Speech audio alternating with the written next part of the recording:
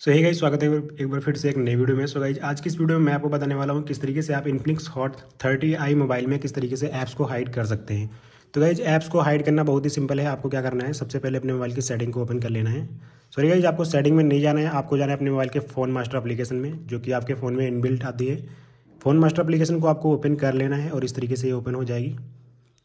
उसके बाद आपको क्या करना है? नीचे की तरफ़ जाना है स्क्रॉल करते हुए और यहाँ पर ऑप्शन मिल जाएगा। एक साइड तो सिंपली आपको एक साइड पे क्लिक करना है। जैसे आप इस पर क्लिक करेंगे तो यहाँ पर एक पासवर्ड आपको क्रिएट करना होगा तो एक पासवर्ड आप क्रिएट कर लीजिए।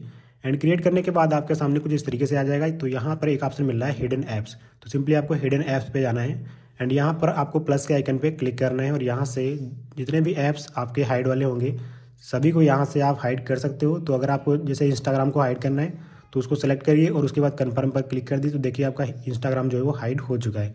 इस तरीके से और भी ऐप्स को आप यहाँ से हाइड कर सकते हो और कन्फर्म कर दीजिए। तो देखिए, यहाँ पर दो ऐप्स हाइड हो चुके हैं। अब गाइज़ यहाँ पर देखोगे तो आपके फ़ोन में व्हाट्सअप और इंस्टाग्राम नहीं दिखेगा। तो आपको देखने के लिए क्या करना होगा? आपको अपने होम स्क्रीन पे आना और यहाँ पर दो फिंगर को ऊपर की तरफ़ स्वैप करना है और यहाँ से अपने पासवर्ड को डाल देना है और पासवर्ड डालते ही आपके सामने ये हिडन ऐप्स आ जाएँगे। यहाँ से आप इनको आप यूज़ कर सकते हो।